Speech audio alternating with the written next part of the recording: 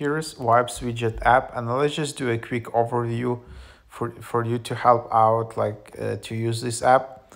So yeah, here is the app um, and with, with help of it, you can share your emotions and how do you feel with your friends on the lock screen. This lock screen is a new feature for iPhones. You need to have iOS 16, iPhone 8 or later to access it.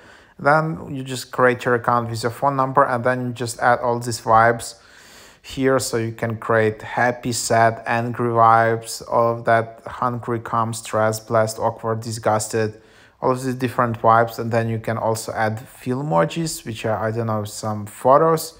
If you want to add additional vibes, you need to invite friends.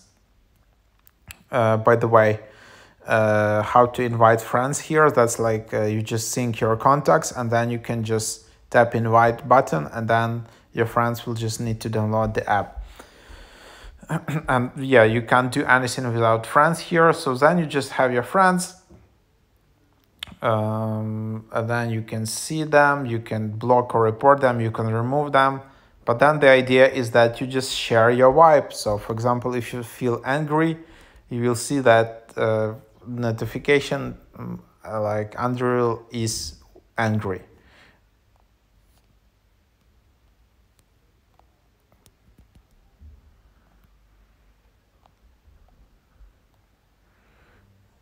And then you can just see like and then change your vibes.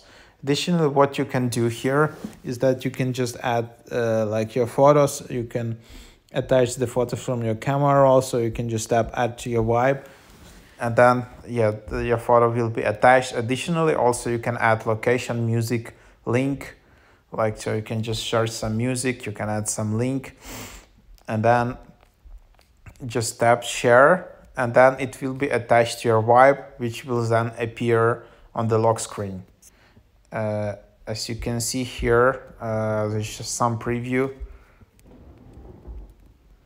so here you will see something like that on your lock screen like where your friends are sharing that they are listening to some music, they're in this in some location, or they are um, you know sharing some photos or some emojis.